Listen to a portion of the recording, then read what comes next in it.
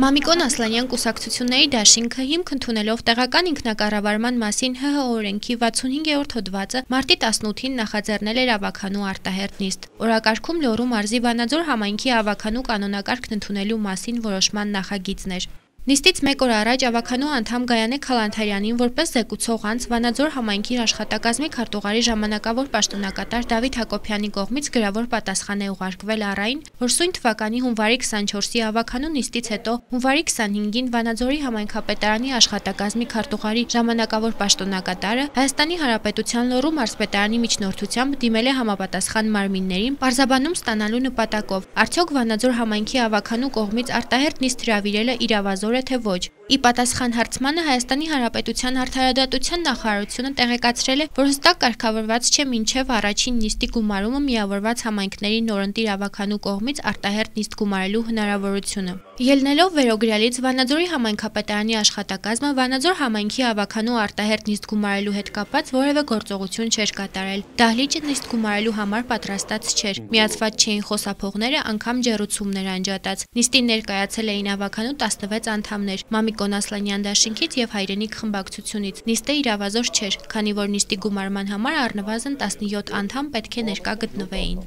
Տեղեկացնում եմ, որ մենք ձեռնպահ են մնում կամ զերծ են մնում նիստ գումարելուն մասնակցելու։ Ես պետք է հիշեցնեմ, որ աշխատակազմը նիստ գումարող չի։ Այսինքն Աշխատակազմը Հայաստանի Հանրապետության տեղական ինքնակառավարման մասին օրենքի 33-րդ հոդվածով ինքը պարտավորություն ունի ապահովել կազմակերպչական, նախապատրաստական աշխատանքներ։ Չգիտեմ, սա նույնիսկ մանկամտության է նմանվում, անջատել են ջերուցումը։ Չկա դրա տարական թուղթ գրի։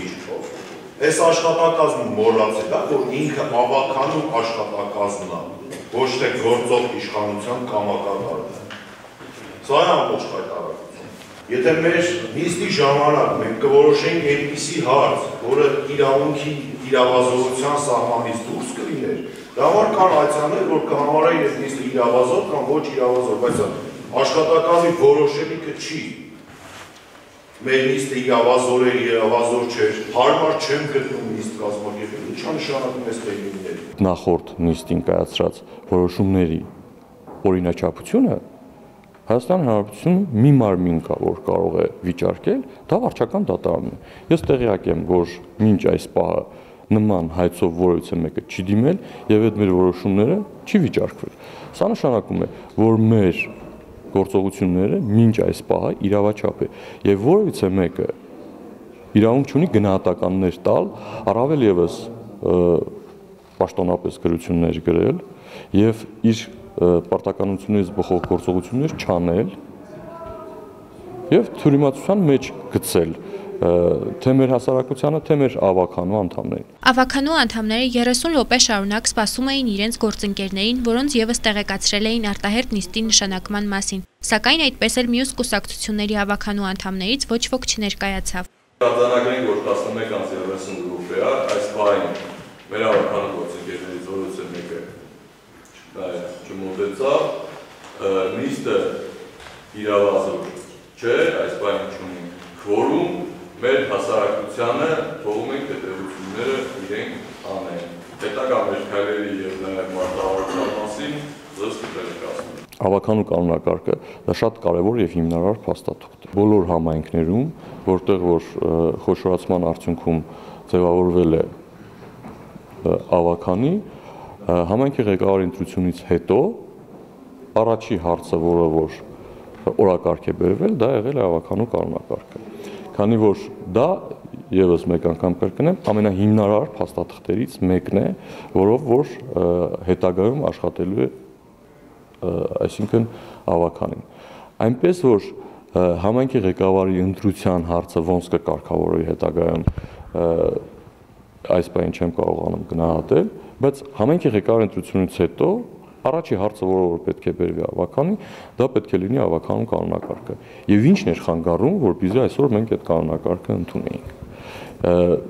Այսինքն նաև մեր ավականային գործընկերները, որոնք որ այսօր չեն ներկայացել, պետք է պատկերացնեն, որ դա այն գործիքակազմներ, որոնք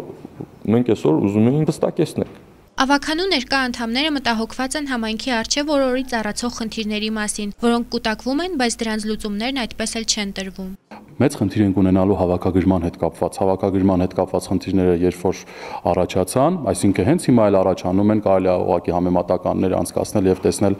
ինչ վիճակով է ընթանում հավաքագրման մակարդակը։ Այդ խնդիրները որ առաջացան, համայնքի վարչական բյուջեի մասով խնդիրներ են լինելու հետևաբար դեֆիցիտի պարագայում դժելու է համայնքի չգիտեմ թե համայնքային հիմնարկները թե համայնքի աշխատակազմը իր գործունեությունները ծավալելու առումով թե նաև համայնքային աշխատանքները որոնց մեծ մասը այն ինչը մենք պատկերացնում ենք օրինակ լուսավորություն ասֆալտապատում, հա, փոսային նորոգումներ, դրանց մեծ մասը նաև կատարվում է վարչական բյուջեի մասով, որը հատկացումը ոչ միայն դոտացիայի տեսքով գալիս է, նաև նաև համալրվում է տեղական, հա, մեր հավաքագրումներից այս մասով եւս մենք խնդիրներ ենք ունենալու ու օրեցօր ավելանում է այս խնդիրների շարքը Ավականու անդամ Արտուր Օհանյանը հորդորեց աշխատակազմի աշխատակիցներին առավոտյան համայնքապետարանի շենք մտնելիս դրան մոտ կարդալ, թե ուր են մտնում, քանի որ այն համարվում է Վանաձոր համայնքի ավականու նստավայր։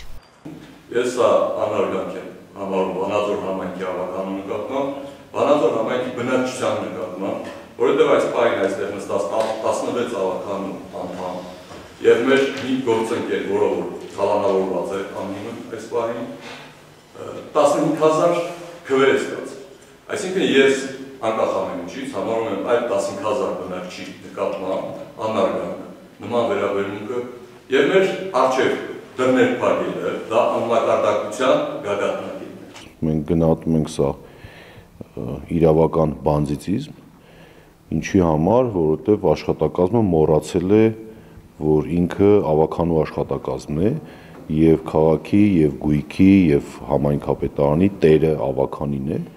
եւ ինչը նշանակում նույնիսկ անջատել ջերուցումը կամ չկազմակերպել տեխնիկական մասը, հա թուղթ, գրիչ, խոսափող եւ այլն եւ այլն։ Սա ուղղակի абսուրդ է, որը նաեւ իր մեջ պարունակում է հանցագործության տարեր, որին նաեւ կտանք իրավական գնահատական։ Նիստին ներկա ավականիները անընդունելի են համարում նման վերաբերմունքը թե իրենց ու թե իրենց վստահության քվե տված քաղաքացիների նկատմամբ։ Իսկ ավականու արտահերտ նիստ հրավիրելը միտված էր օր առաջ համայնքը ճգնաժամային իրավիճակից հանելուն։ Մարի Մովսեսյան, Տիգրան Դերցյան, Վահե Գասպարյան, Թղթապանակ։ Աքսելը 44 օրյա պատերազմին վիրավորվել է, ինչև հիմա բուժում չի ստացել, ուղեղային վնասվածք ունի։ Ծրագրի մասին, որ իմացել եմ, մասնակցել եմ ընդգրկվել, ու այսօր ստանում եմ ստեղ բուժում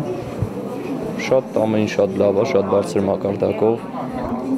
պրոֆեսիոնալ թիմ է Պատերազմում կիրառված զինատեսակները ուղեղի, ողնաշարի եւ այլ լուրջ վնասվածքներ են հասցրել, որոնք պահանջում են երկարատև ֆիզիկական եւ հոգեբանական վերականգնում։ Հաշվի առնելով ստեղծված պայմանները, Ազնավուր հիմնադրամը նախաձեռնել է համակցված վերականգնողական բուժում ապահովում հետպատերազմյան Հայաստանում ծրագիրը։ Այն իրագործելով Ֆրանսիայի արտաքին գործերի եւ եվրոպական հարցերի նախարարության ճգնաժամային աջակցության կենտրոնի մասնակցությամբ։ Վանաձորի բժշկական կենտրոնում նոր վերականգնողական բաժանմունք է բացվում։ Կարմիր ժապավենը կտրում են Նիկոլա Ազնավուրը եւ Վանաձորի բժշկական բժշկական կենտրոնի տնօրենը։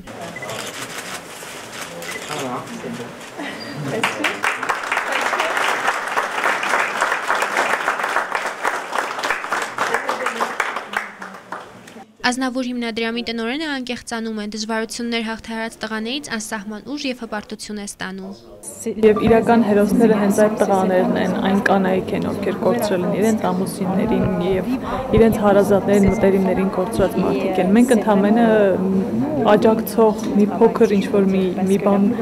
փորձում ենք անել, բայց իրական հերոսները հենց նրանք են։ Եվ ուժը իրանց մեջ է։ եթե իրանք տենց ուժեղ չլինեին, դրա համար եմ ասում հպարտանում եմ, որտեղ իրանք շատ ուժեղ մարդ են եւ կարողանում են comment dire, dépasser ces difficultés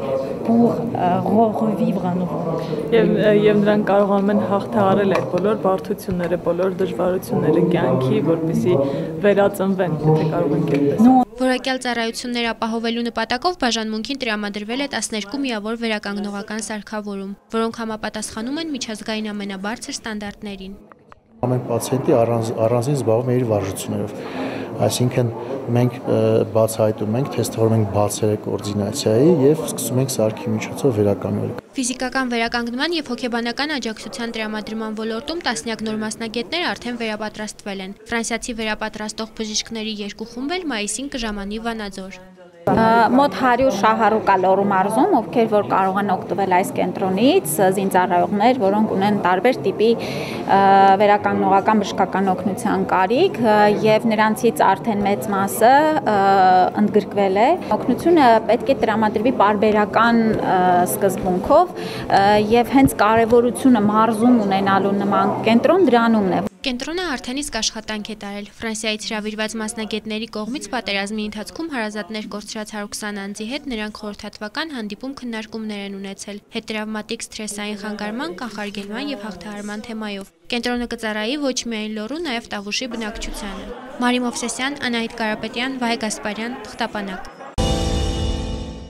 Լոռու մարզի մեծ ու փոքր համայնքներում, այդ թվում նաև մարզկենտրոն Վանաձորում առողջապահական ոլորտում մի շարք խնդիրներ կան։ Սարքավորումների բացակայությունից մինչև մասնագետների պակաս։ Պետական կառույցների պատասխանատուները տարբեր առիթներով մշտապես հիշեցնում են, որ իրենք աշխատում են այդ ուղությամբ։ Սակայն ինչպես բնակչության կողմից ստացվող բողոքներն են ցույց տալիս, սայլերը հաճախ մնում են տեղում։ Կա այդ խնդիրը, կադրային խնդիրների հետ կապված, մասնագետների հետ կապված, նույնիսկ չէ, բժշկոյի թափուր տեղեր ունենք, թափուր, թափուր, թափուր, թափուր տեղեր ունենք, սա մեր առաջնային եւ կարևոր հարցերից մեկն է եւ այստեղ նույնպես ես ձեզ խնդրեմ բոլորի, եթե կան այլ, ասենք Երևանից կամ չգիտեմ մյուս մարզերից մասնագետներ, ովքեր որ ցանկություն կունենան մեր մարզի այս կամ այն դուշ հաստատություններում աշխատել, համատեղել, չգիտեմ եւ այլն, մենք մեծ սիրով կընթառաջենք։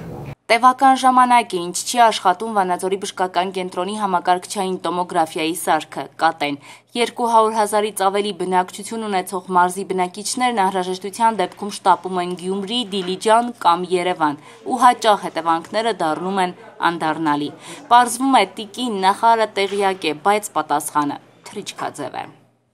Իհարկե, տեղյակ է եւ պետք է տեսնել, որ վերջին 2 տարիների ընթացքում Վանաձորի բժշկական կենտրոնը շատ կարող եմ ասել թրիչքաձև զարգացում է ապրել եւ եթե նախկինում մենք մասնագետների, հիվանդների մեծ հոսք ունեինք դեպի Երևան, ապա իրավիճակը փոխվել է եւ այս պահին բժշկական կենտրոնը կարողանում է իր վրա վերցնել ամբողջ անհրաժեշտ բժշկական օգնության եւ սպասարկման ծավալը։ Վանաձորի բժշկական կենտրոնի համակարգչային տոմոգրաֆիայի սարքի այս այսպես կոչված վերածննդի հստակ ժամկետները նշելու հարցում ոչ տեսախցիկների առաջ, բայց բժշկական կենտրոնի տնորենը թղթապանակին վստահեցրեց, որ հաշված օրերում խնդիրը կկազմակերպեն։ Այժմ մաքսային հարցերն են կազմակերպվում։ Թղթապանակը հետևողական կլինի։ Հիմա պոլիկլինիկաների կամ ի սկզբանե առողջության պահպանման առաջնային օղակների մասին, որտեղ հաճախ առաջին օգնություն չի տրամադրվում։ Խնդիրը նույնն է, կամ մասնագետ չկա, կամ սարքավորում, կամ էլ սարքավորմանը անհրաժեշտ բաղադրիչ չկա։ Վառ օրինակը ռենգեն ապարատն է։ Ավանեսյանը պարզվում է համակարծիք է, պետք է վերազինել պոլիկլինիկաները Պոլիկլինիկական ոլորտում իհարկե ներդրումները պետք է շարունակվեն եւ մենք հասկանում ենք, որ մեր առաջնային օղակը առավել կարիք ունի նոր սարքավորումներով հագեցվելու մասնագետների վերապատրաստումներ եւ իհարկե շենքային պայմանների վերանայում պետք է լինի։ Եվ առաջիկայում կապիտալ ծախսերի ցուցակում ընդգրկված է նաեւ Վանաձորի պոլիկլինիկաներից մեկը, հիմա դեռ քննարկումների մեջ ենք, թե որ մեկը կընդգրկվի, բայց միանշանակ Վանաձորի պոլիկլինիկաներից մեկը ընդգրկվելու է կապիտալ ծախսերի մեր առաջիկա ցանկում։ Այսինքն ռենտգեն սարքերի մասով ասեմ, որ վերջին ժամանակում եւս թարմացումներ եղել են եւ նոր ռենտգեն ապարատ է ստացել պոլիկլինիկան։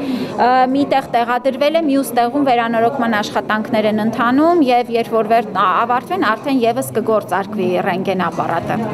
Վանաձորի թվով 5 պոլիկլինիկաներից միայն Գուգարք պոլիկլինիկայում է, որ ռենտգեն հետազոտում հետազոտության համար հաշվառված հիվանդներ ստիպված չեն լինում դիմել մասնավորին, ինչպես պարզվեց ավելի ուշ եւ մամուլում տեղ գտած բնակչության բողոքներից հետո Ավանեսյանը Վանաձոր նաեւ լավ լուրով էր եկել։ Մենք այսօր մենք այսօր նաև պոլիկլինիկա ենք այցելելու, հենց նոր ռենտգեն ապարատի տեղադրումը եւս արցանագրելու ենք։ Եվ գիտեք, այո, տարիներ ի վեր հիվանդանոցային օղակը շատ ավելի ակտիվ կերպով է զարգացել, ինչը բնականon է եւ նորմալ է, եւ առաջիկա տարիներին մեր ուշադրությունը պետք է լինի իհարկե պոլիկլինիկաների, ամբուլատորիաների, նորից եմ կրկնում, թե շենքային պայմանների վերանայումը, թե սարքերով համալրումը եւ մասնագիտական ներուժի ուժեղացումը։ Սա մեր կարևորագույն առաջնահերթություններից է թե երբ կաշխատեն եւ ինչպես կսպասարկեն Վանաձորի բժշկական կենտրոնի ռենտգեն եւ համակարգչային տոմոգրաֆիայի սարքերը, թղթապանակը հետամուտ կլինի։ Կհետևենք նաեւ առաջնային օղակների առաջնային սպասարկման գործընթացներին։ Անայդ Կարապետյան, Վահե Գասպարյան, թղթապանակ։ Հայաստան ներկրվող ցորենի մոտ 90%-ը գալիս է Ռուսաստանից, մնացածը ներկրվում է Ուկրաինայից եւ Վրաստանից։ Հացահատիկ Արցախից ավելի քիչ է ներկրվում։ Եթե առաջ մոտ 100-120 հազար տոննա էր բերվում, հիմա 4-ից 3 անգամ պակաս է՝ մոտ 40 հազար տոննա, ոչ ավել։ Իրավիճակի պատճառն այն է, որ Արցախի շատ ցանքատարածքներ եւ հողեր անցել են Ադրբեջանի վերահսկողության տակ։ Ռուսաստանից հացահատիկի արտահանման սահմանափակումները ԵԱՏՄ տարածքին մասնավորապես Հայաստանին չեն կարող վերաբերել։ Այդ սահմանափակումները վերաբերում են այն երկրներին, որոնք ավելի շատ ոչ բարեկամական քայլեր են կատարում Ռուսաստանի նկատմամբ։ Ըստ տնտեսագետների եւ գյուղատնտեսների ռուբլու արժեզրկումը ավելի էժան հնարավորություններ է ստեղծում էժան գներով ներմուծելու։ Նրանք կարծում են, որ այս պահի դրությամբ Հայաստանը չի կարող հացահատիկի դեֆիցիտի առաջ կանգնել։ Վանաձորում քաղաքացիները նկատել են թանկացումները ոչ միայն հացահատիկի, այլ տարբեր սննդամթերքների շրջանում, ինչպես նաև կասկածներ ունեն, որ թանկացումներն անհիմն են ու ձեռնարկատերերը պարզապես առիթից օգտվում են։ Առաջ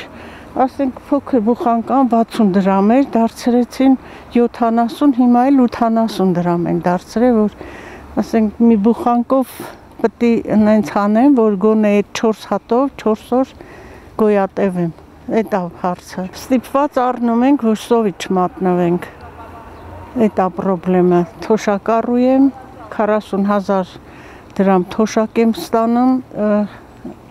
ունենց եմ դասավորում, որ գոնե մի ամիս գոյատևեմ այդ աշխբանով, թոշակով։ Թվում է pašարները շատ է, արդից օգտվում են հիմնականում բիզնեսի ոլորտը։ Որքանով եք Հիմի ներկա պահին 200 դրամով եմ գնել, մեր թաղի բակ խանութներում 220 դրամ է։ Արդեն Սարուխանյանն է, էլի, մնացած խանութներում նույնն է մնացել։ Թթվասերը թանկացել էր Մարիանան։ Կարակը թանկացել է, նայած էլի։ Նայած տեսակներ, կան տեսակներ, որ նույնն են մնացել, բայց կա տեսակներ, որ թանկացել են։ Միայն հացը չի որ թանկացել է կրկնակի ձեթնա թանկացել, կրուպեղեննա թանկացել, շատ բանա թանկացել։ Կոնկրետ հա, չենք կարող ասենք 150 դարավ, հետո 170, հետո 180։ Մենք տեղից ոչ մի ռեսուրս չունենք տղա ջան, մեր ամեն ինչը Եկովիա։ Այն ինչի որ մեր տեղի ռեսուրսն է, հավնա, ձունա, ջերմուկնա, աղնա, էդ էլ են թանկացնում, բա դա ինչին են վերագրում։ Լավ, ասենք նա իմպորտա գալիս է, ես դա հասկացա Ռուսաստան ճգնաժամը, որ վետոների տակ է։ Բա Հայաստանը եթե ինքը ունի Եվ հիմա զրույցները, որ գնում ասում անգան ալուր ունեն ստեղ լավ, որ մի տարի կարող են այդ օգտագործեն։ Դե թող այդ մի տարին չէ, կես տարի չթանկացնեն, ինչեւ որ մարդկանց խելքը գլուխը գայել տենան ինչի, ինչից հետո է, ինչ են անելու ասեցին, որ տեսուչներ են նշանակելու այս թանկացումների համար, բայց ոչ մի առեսօր ոչ մի շարժ չի նկատվում այդ ոնց թանկացել էր, դեղ պեսո կալուրա ամեն ինչը նույնը նույն գները պահպանվում է։ Կան նաև քաղաքացիներ, ովքեր դեռևս չեն նկատել հացահատիկային մթերքների գնային աճը։ Ոչ, հացը չի թանկացել, նույնն է մնացել։ Ես իր եքորա նույն գնով եմ առնում։ 200 դրամ։ Բան հիմն թանկացում, աշուխ ունենք գցում ժողովրդի մեջ ձեթը, ալուրը, էս։ Վերջերս ես մի տեղ էի գնացած, մեր քաղաքում չէ, ուրիշ տեղ սուպերմարկետ է, յանիմ լավություն է անում, պեսո կա 1000 դամով ծախում ու ամեքին ասում ամեն ընտանիքին մի կիլո եմ տալի։ Հացը երկուցով վերցնում եմ, չգիտեմ, դանգացել է թե չէ։ 200-ով։ 200-ով։ Դուք այստեղից չեք։ Չէ, Բեյրութից ենք։ Հաջողություն։ Հացը իհարկե մարդու կեցության գլխավոր սնունդն է, բայց քաղաքակիրթ ու նորմալ քաղաքացին հացից բացի այլ սննդամթերքների ու սննդատեսակների պահանջներ ունի, որոնք նույնպես Հայաստանում parberabar թանկանում են, եւ վերստին այս պատճառաբանությամբ, եթե գազը, էլեկտրաէներգիան, ջուրը թանկացել են, մնացած ամեն ինչի գներն էլ բնականաբար պիտի նույնը չմնան։ Մարի Մովսեսյան, Տիգրան Դերցյան, Վահե Գասպարյան, Թղթապանակ։ 세전 악지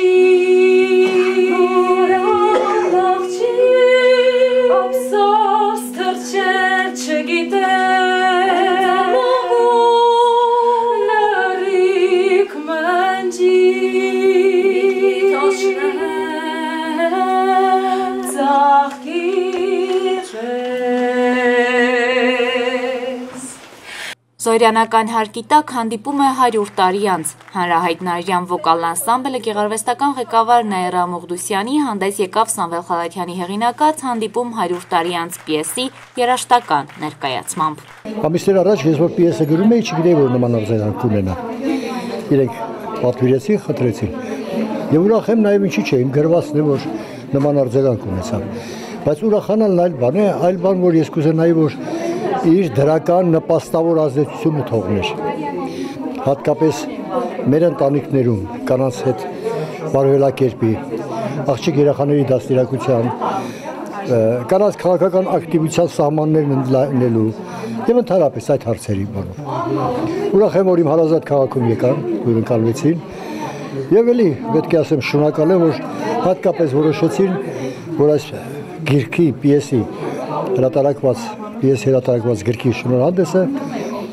լինի մեր քաղաքում առաջին դեմքով ներկայանում են 20-րդ տարի ականավոր հայ կանայք։ Առաջին հանրապետության կին պատգամավորներ Վարվարա Վարյա Սահակյանը, Կատարինե Զալյան Մանուկյանը, Պերճուհի Պարտիսպանյան Բարսեղյանը, ինչպես նաև գրող հրապարակախոս, հասարակական քաղաքական գործիչներ Զապելի Եսայանն ու Շուշանի Կուրղինյանը։ Բեմականացումը կանանց իրավունքների պաշտպանության, կանանց իրավազորման, պատմության ու արժեքների հավասար հնարավորությունների հիմնահարցերի մասին է։ Բեմադրությունից հետո ծավալվում է քննարկում կանանց իրավազորման ու գենդերային հավասարության կարևորության շուրջ։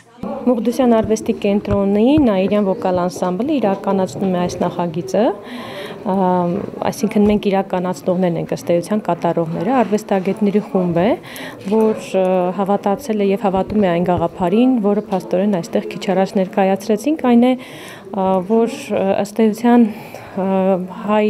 հայ հայոց պատմության մեջ եղել են եւ ես վստահ եմ որ նրանք կան ու կշարունակեն լինել կանայք ովքեր իրենց ուսերին տարել են ոչ միայն ընտանեկան այսպես ասած բեռոհոքսը այլև շատ լուրջ հասարակական, քաղաքական, մշակութային, սոցիալական այսպես ակտիվություն են ցուցաբերել, գործունեություն են իրականացրել եւ հենց նրանց շնորհիվ է որ այսօր մենք թեկուզ եւ ստեղծել թեկուզ մինչեւ հիմա մենք կարողացել ենք իբրև ազգ, երկիր, պետություն գոյատևել եւ լինել։ Քարոզարշավը կազմակերպվում է ՄԱԿ-ի բնակչության հիմնադրամի կողմից օքսիջեն հիմնադրամի հետ համատեղ պտղի սերով պայմանավորված խտրական ընտրության ու հարակից վնասակար գործելակերպերի կանխարգելումը հարավային Կովկասում աջակցություն տարածաշրջանային, ազգային եւ հարավ-հարավ նախաձեռնություններում ծրագրի շրջանակներում անցյալ տարի նոեմբեր-դեկտեմբեր ամիսներին ներկայացումը շրջել է Կոտայքի, Արմավիրի, Գեղարքունիքի ու Արագածոտնի մարզերում։ Orpia Նույն